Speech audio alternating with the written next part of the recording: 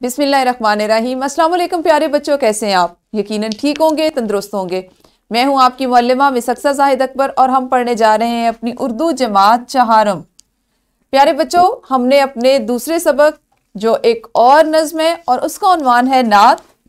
इसका आज आगाज़ करना है ये हमारी दरसी किताब का दूसरा सबक है।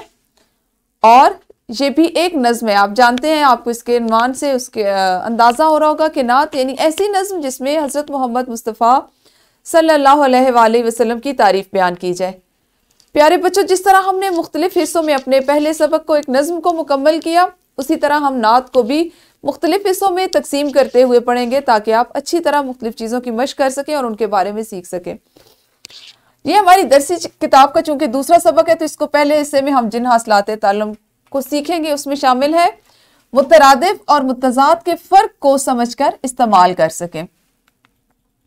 सबक नंबर दो, इशारिया दो मतन को फहम से पढ़ सकें और नज्म या अशार को नसर में तब्दील कर सकें। सबक नंबर दो, इशारिया तीन, दूसरे सबक का तीसरा हिस्सा मुश्तमिल होगा आपका। मतन को फहम से पढ़ सकें वही वाला हासिल तालुम क्योंकि हमारी नात नस्बता उसका मतन कुछ ज़्यादा है तो हम उसे दो हिस्सों में तकसीम करते हुए पढ़ेंगे। और नज्म या अशार को नसर में तब्दील कर सकें।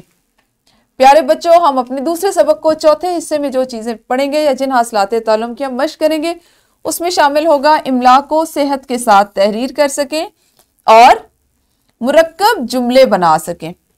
आप चौथे हिस्से में सीखेंगे मुरक्ब जुमले बनाना।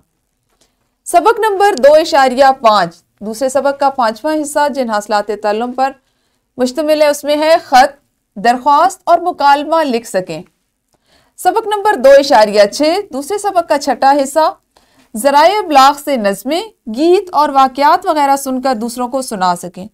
और अपने माहौल से मुतल किसी मौजू पर दो मिनट की तकरीर कर सकें।